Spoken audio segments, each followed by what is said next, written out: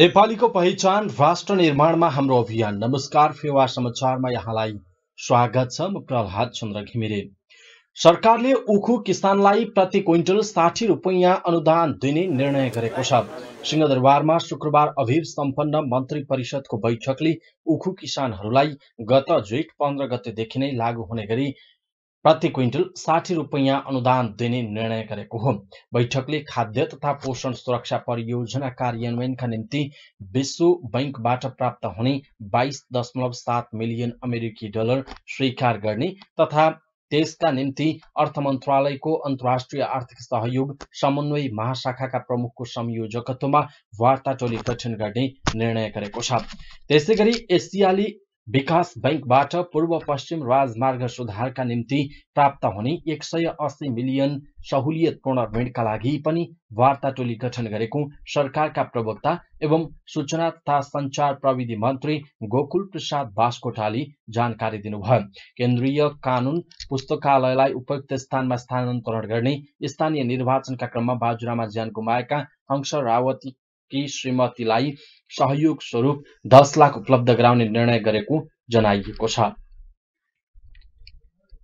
अब अर्को चाहिँ राष्ट्र सेवक कर्मचारीहरूलाई महँगी भत्ता पोसाक र सावधिक जीवन बिमाको बिमाङ्क वृद्धि गर्ने निर्णय गरिएको छ। त्यो भनेको जस्तो पोसाक भत्ता चाहिँ सात हजार पाँच सय थियो अब दस हजार भएको छ। त्यसै गरी नेपाल सरकारले उखुको न्यूनतम समर्थन मूल्यमा परिवर्तन नगरेसम्मको लागि दुई हजार पचहत्तर जेठ पन्ध्रदेखि लागू हुने गरी उखु उत्पादक कृषकहरूलाई प्रति क्विन्टल रु साठी रुपियाँ अनुदान दिने निर्णय गरिएको छ। अब केन्द्रीय कानुन पुस्तकालयलाई निरन्तरता दिई उपयुक्त स्थानमा स्थानान्तरण गर्ने निर्णय भएको छ अर्को।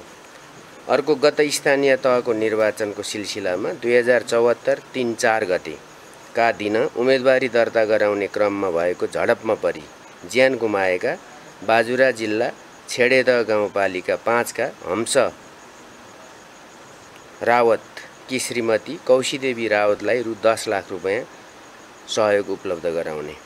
त्यसै गरी सशस्त्र प्रहरी अतिरिक्त महानिरीक्षकहरूको सरुवा गर्ने जस अन्तर्गत पुष्पराम केसीलाई कार्यविभागबाट कार्यविभाग तथा सीमा सुरक्षा विभागमा नारायणबाबु थापालाई उपत्यका सुरक्षा कार्यालयबाट मानव स्रोत विभागमा र रामशरण पौडेललाई यथावत। अर्को निर्णय छ। अर्को व्यवस्था नभएसम्मका लागि केन्द्रीय बाल कल्याण समिति र त्यसै गरी मन्त्री परिषदको बैठकले समाज कल्याण परिषदको अनियमितता छानबिन गर्न विशेष अदालतका पूर्व न्यायाधीश मोह रमण भट्टराईको संयोजकत्वमा पाँच सदस्यीय छानबिन समिति गठन गरेको छ। त्यस्तै बैठकले राष्ट्रिय प्रकृति संरक्षण कोष जडीबुटी उत्पादन तथा प्रशोधन कम्पनी राष्ट्रपति चुरे तराई मधेस संरक्षण विकास समितिको विद्यमान संगठन संरचनालाई सुधार सहित निरन्तरता दिने र बैन पैदावार विकास समिति र टिम्बर कर्पोरेसनलाई एकअर्कामा गाभ्ने निर्णय गरेको छ। लेखा व्यवसायीहरूको पेशागत छाता संगठन नेपाल अडिटर्स एसोसिएसन अडान तेह्र वर्षमा प्रवेश गरेको छ। एसोसिएसनले आफ्नो वार्षिक उत्सवलाई अडान दिवसको रूपमा मनाउँदै आएको छ। वार्षिक दिवसका अवसरमा एसोसिएसनले शनिबार काठमाडौँमा प्रभात फेरीको आयोजना गरेको थियो। त्यसै गरी मुलुकभर नै शनिबार बिहान प्रभात फेरीको आयोजना गरिएको एसोसिएसनले जनाएको छ। दुई हजार त्रिसठी सालमा स्थापना भएको अडानमा हाल देशभरका आठ हजारको हाराहारीमा रहेका लेखा परीक्षक संगठित रहेका छन्। यस अवधिमा यस एसोसिएसनले पैसठी जिल्लामा संगठन विस्तार गरी आइक्यानलाई सम्पूर्ण लेखा व्यवसाय र विशेषता रजिस्टर्ड अडिटर्सहरूको हितमा क्रियाशील बनाउने प्रयासलाई निरन्तर अगाडि बढाइरहेको जनाएको छ।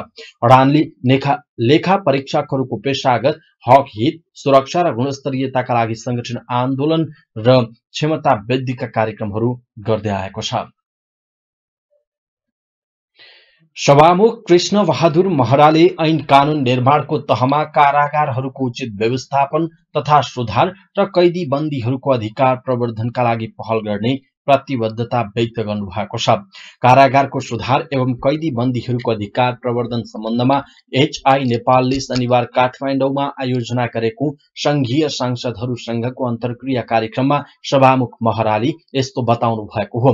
उहाँले सरकारले कारागार सुधार कैदी बन्दीहरूको अधिकारका सवालमा ऐन कानून बनाउन विधेयकहरू ल्याएमा त्यसलाई प्राथमिकता दिँदै सकारात्मक परिणामका साथ हुने जुनसुकै काममा पनि सहयोग गर्ने बताउनुभयो।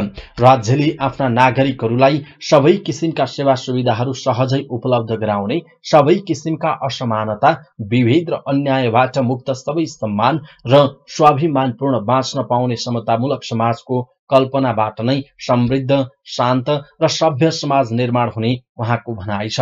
उहाँले कैदी बन्दीहरूको आचरण व्यवहार र अपराधिक मनोवृत्तिलाई परिवर्तन गरी सकारात्मक सोच चिन्तन र सिप क्षमताको वृद्धि गर्न उचित ऐन नियमको आवश्यकता रहेको धारणा पनि व्यक्त गर्नुभयो। सभामुख महराले कारागार तथा कैदीबन्दीहरू सम्बन्धी ऐन नियमहरू समयानुकूल परिमार्जन गर्दै लैजानुपर्ने अवस्था रहेको उल्लेख गर्नुभयो।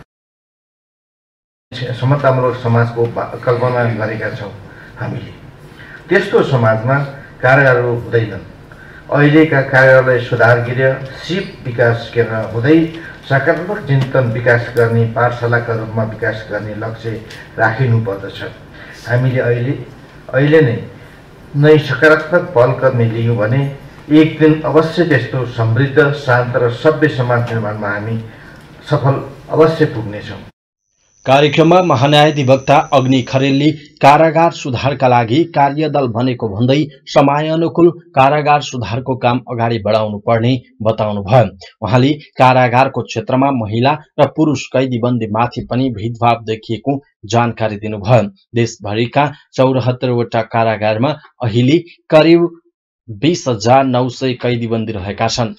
त्यस्तै एक सय पन्चानब्बे क्षमताको बाल सुधार गृहमा दुई सय अन्ठाउन्न जना रहेका छन्। सुरक्षाको दृष्टिले संवेदनशील बानिएको क्षेत्रमा रहेका केही कारागारको संरचना पुरानो भएकाले त्यसलाई सुधार गर्नुपर्ने देखिएको अध्ययनले देखाएको छ।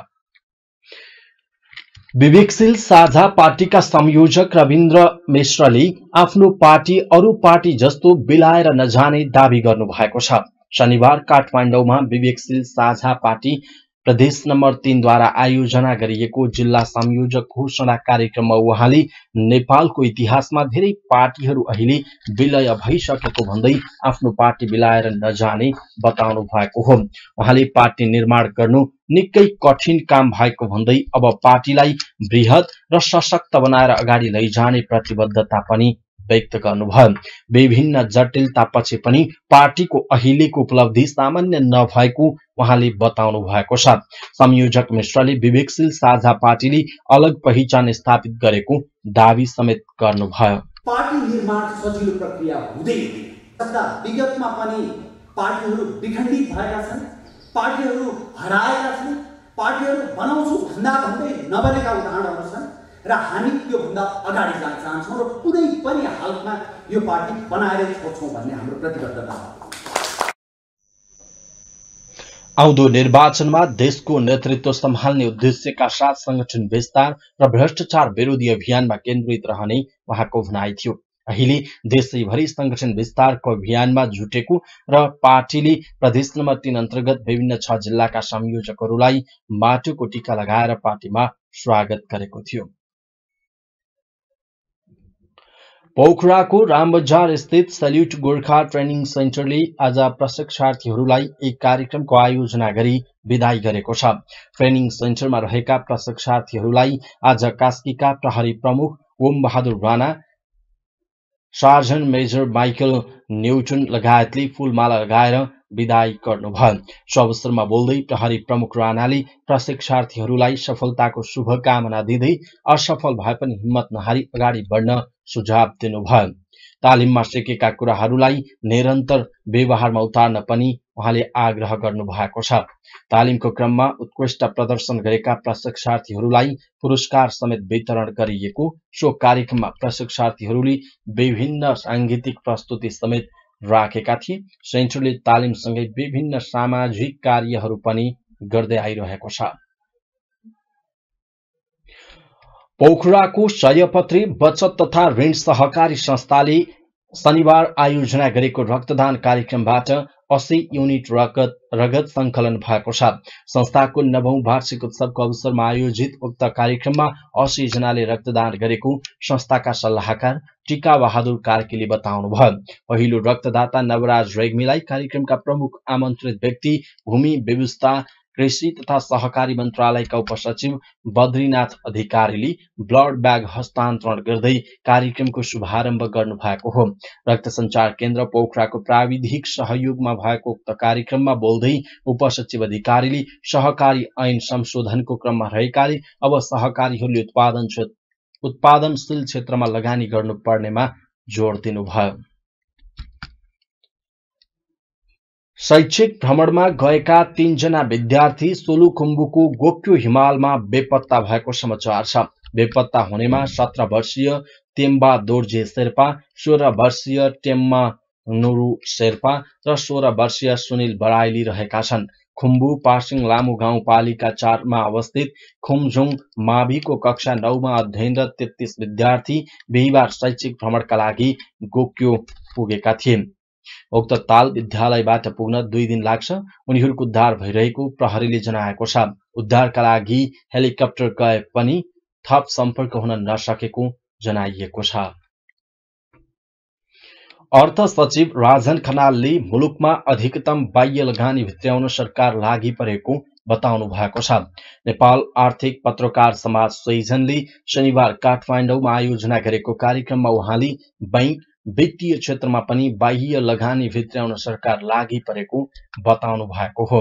उहाँले नेपालमा पुँजी अभावकै कारण ब्याज दर बढेको जिकिर गर्दै बाह्य लगानीकर्तालाई पनि बैंक तथा वित्तीय क्षेत्रप्रति आकर्षण गर्नुपर्ने धारणा व्यक्त गर्नुभयो। उहाँले सेयरका विषयमा बेला बेलामा नकारात्मक टिप्पणी र समाचार आइरहेको भन्दै यस्ता टिप्पणीले मुलुकको अर्थतन्त्रलाई असर गर्ने जिकिर गर्नुभयो। त्यस्तै उहाँले अहिले पनि नेपालमा विश्व बैङ्कको ठूलो सहायता रहेको भन्दै आगामी योजना लगायतका विषयमा जानकारी गराउने तथा सहायता बढाउन आग्रह गरिने स्पष्ट पार्नुभयो। हाम्रो छ हाम्रो हाम्रो इकोनोमीको साइज कत्रो छ। कति चाहिँ हाम्रो चाहिँ हाम्रो हाम्रो आफ्नै साइजले थाहा कति हाम्रो साइज पुग्दैन।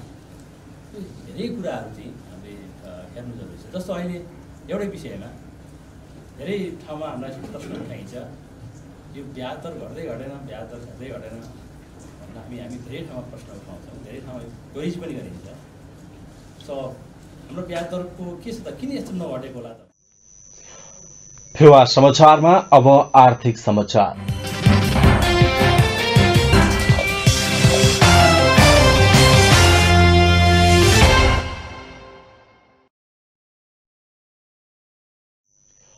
नेपाल राष्ट्र बैङ्कका गभर्नर डाक्टर चिरञ्जीवी नेपालले आर्थिक क्रियाकलाप बढाउनु पर्ने बताउनु भएको छ।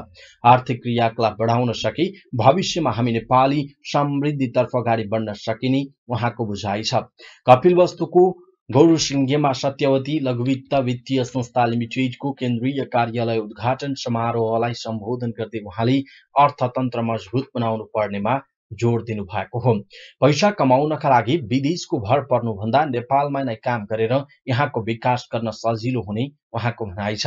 नेपालको आर्थिक अवस्था उकास्नका लागि कृषिमा जोड दिनुपर्ने उहाँले बताउनुभयो। सरकारले दिएको पाँच प्रतिशत अनुदानको उपभोग गर्न अनुरोध गर्दै उहाँले स्थानीय स्तरमा रहेका विभिन्न वित्तीय संस्थाबाट लगानी लिई नेपाललाई सम्पन्नता बन्न सबैलाई अनुरोध गर्नुभयो। कार्यक्रममा कपिल वस्तुको सत्यवती लघुवित्त वित्तीय संस्था लिमिटेड नेपालको प्रदेश नम्बर पाँच र छ भित्रका दसवटा जिल्लामा आफ्नो शाखाहरू खोल्ने जानकारी पनि दिइएको छ। कपिल वस्तुमा केन्द्रीय कार्यालय खोल्ने पहिलो वित्तीय संस्था सत्यवती लघुवित्त वित्तीय संस्था लिमिटेड बनेको छ।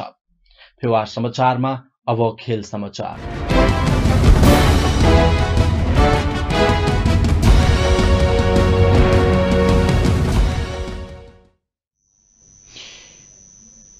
महिलाहरूको महान पर्व हरितालिका तीज पर्वको अवसरमा पोखराको लामाचौरमा सञ्चालन हुने लामाचौर तीज महोत्सव आगामी भदौको तेस्रो सातादेखि सञ्चालन हुने भएको छ। नवआदर्श सामुदायिक विकास समाजको बाइसौं वार्षिक उत्सवको अवसरमा आयोजना हुने उक्त महोत्सव भदौ तेइसदेखि सत्ताइस गतेसम्म पोखराको लामाचौरमा रहेको इन्द्र राज्य लक्ष्मी माभिको परिसरमा सञ्चालन हुने समाजका अध्यक्ष बम बहादुर गुरुङले बताउनुभयो। महोत्सवको अवसरमा सञ्चालन हुने राष्ट्रिय महिला भलिबल प्रतियोगितामा यस वर्ष तीन विभागीय सहित छ टिमको सहभागिता हुने भएको छ। आउँदो उक्त प्रतियोगितामा विभागीय एपिएफ सहित नेपाल प्रहरी नेपाली सेना काठमाडौँको new diamond academy Jawalakhel volleyball प्रशिक्षण केन्द्र र पश्चिमाञ्चल भलिबल संघ तथा चितवनको चितवन टाइगरको संयुक्त एक टिम गरी छ टिमको सहभागिता हुने जनाइएको छ। प्रतियोगिताको डिफेन्डिङ च्याम्पियन सशस्त्र प्रहरी बलको एपिएफओ पश्चिमाञ्चलको टिममा खेलाडीहरू अभाव भएको हुँदा चितवनसँग समन्वय गरी एक टोली तयार पारिएको खेल संयोजक सुशील कुमार श्रेष्ठले बताउनुभयो प्रतियोगितामा विजेता टिमले एक लाख रुपियाँ र दोस्रो हुनेलाई पैँसठी हजारको साथमा ट्रफी मेडल प्रमाणपत्र द्वारा पुरस्कृत गरिने संयोजक श्रेष्ठले बताउनुभयो प्रतियोगितामा तेस्रो हुनेले पच्चिस हजार चौथो हुनेले पन्ध्र हजार पुरस्कार प्राप्त गर्नेछन्। त्यस्तै प्रतियोगितामा उत्कृष्ट खेलाडीलाई पाँच हजार पाँच सय रुपियाँद्वारा पुरस्कृत गरिनेछ। लामाचौर तीज महोत्सवको अवसरमा अन्तर विद्यालय छात्रा भलिबल प्रतियोगिता नरबहादुर बानिया स्मृति प्रदेश स्तरीय सितोरियो कराते प्रतियोगिता अन्तर समूह तेज गीत प्रतियोगिता अन्तर विद्यालय लोक नृत्य प्रतियोगिता खुल्ला युगल नृत्य प्रतियोगिता महिला समूहगत लोक नृत्य प्रतियोगिता लगायतका प्रतियोगिताहरू हुने पूर्व अध्यक्ष एवं प्रचार प्रसार संयोजक धर्ममान सिंह भण्डारीले जानकारी दिनुभयो। अन्तर्विद्यालय छात्र भलिबल प्रतियोगिता अन्तर समूह तेज गीत प्रतियोगिता, अन्तर्विद्यालय लोकनृत्य प्रतियोगितामा विजेताले जनही पच्चिस हज़ार, र उपविजेताले हज़ार पुरस्कार भएका छन्। अब अन्तर्राष्ट्रिय समाचार, अफगानिस्तानको पूर्वी सहर गार्डेजमा भएका आत्मघाती हमलामा परि कम्तीमा जनाको मृत्यु भएको छ। गार्डिजमा रहेको मस्जिदमा शुक्रबार लगातार भएका दुई छुट्टा छुट्टै आक्रमणमा परि कम्तीमा सत्तरी जना घाइते भएको जनाइएको छ। स्थानीय समय अनुसार शुक्रबार दिउँसो साढे एक बजेतिर मस्जिदमा प्रार्थना भइरहेका बेला घटना भएको अधिकारीहरूले जानकारी दिएका छन्। घटनामा परि आक्रमणकारीतर्फका दुईजना पनि मारिएका छन्। प्रान्तीय स्वास्थ्य विभागका प्रमुख डाक्टर बालायात हमाङडीजीले कम्तीमा पैँतिस जनाको मृत्यु र सत्तरी जना घाइते भएको बताएका छन्। घटनामा घाइते भएका मध्ये केहीलाई उपचारका लागि सैनिक अस्पतालमा लगिएको छ। घाइते मध्ये केहीको अवस्था गम्भीर भएकाले मृत्यु हुनेहरूको संख्या बढ्न सक्ने अनुमान गरिएको छ। घटनापछि सुरक्षाकर्मीले घटनास्थललाई आफ्नो नियन्त्रणमा लिएका छन् भने सुरक्षा सतर्कता पनि बढाएका छन्। विस्फोटबाट मस्जिदमा पनि क्षति पुगेको प्रत्यक्षदर्शीहरूले जानकारी दिएका छन्। घटनाको बारेमा अहिलेसम्म कसैले पनि जिम्मेवारी नलिएको जनाइएको छ। अफगानिस्तानमा भएका आक्रमणहरूमा विगतमा इस्लामिक स्टेट आइएस लडाकुहरूको संलग्नता पाइने गरेको थियो।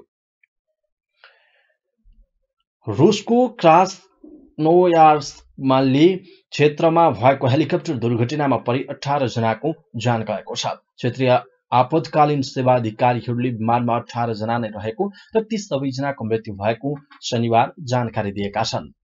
स्थानीय समय अनुसार शनिबार बिहान दस बजेर बिस मिनट जाँदा सो हेलिकप्टर दुर्घटनामा परेको थियो।